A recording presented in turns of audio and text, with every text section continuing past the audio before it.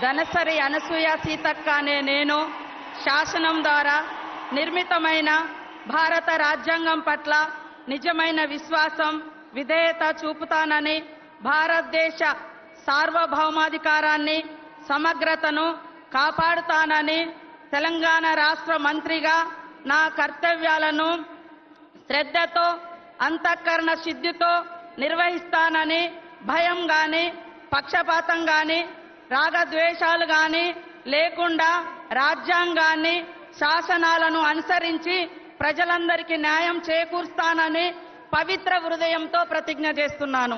అనే నేను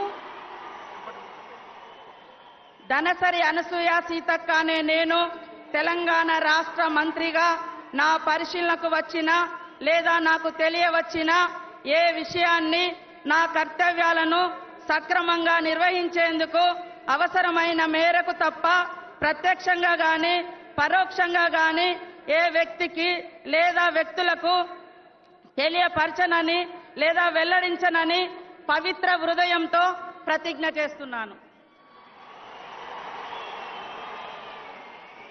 ఇక్కడ?